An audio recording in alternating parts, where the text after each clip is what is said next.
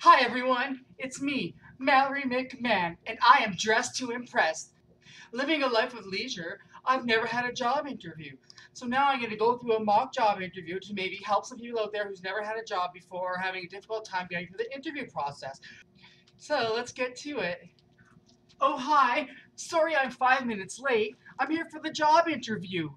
I got you a Starbucks. That's right, Starbucks come in Las Vegas cups now.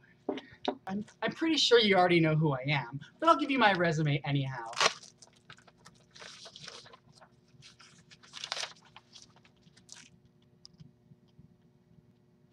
I'm pretty sure that's just enough for me to get the job.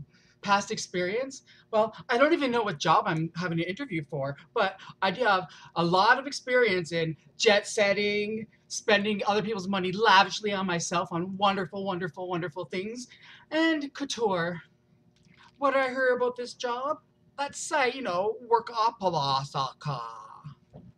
Workopoloska. I have a lot of experience in money making schemes, actually.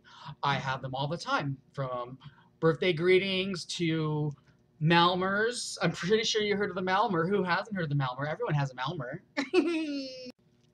Education, well, I didn't get very, very far in school, actually. I just got by on my looks.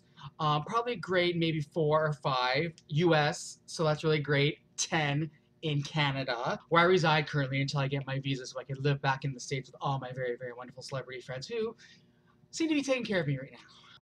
Why should you hire me? Why are you even asking that question? Who wouldn't hire me? I'll bring a lot to the table.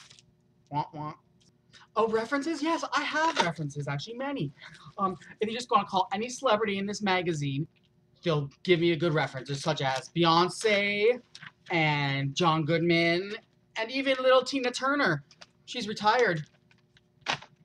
Wish I was. it's a little office humor. okay, everyone, I'm pretty sure that's going to help you with all your job interview problems from being scared, shy, and not knowing what to say.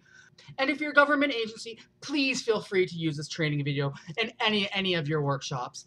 I'm Mallory McMann, and going to get the job. See, that's the attitude you need when you walk in that job interview. That's right. Sit. Shh. Lily, shut up.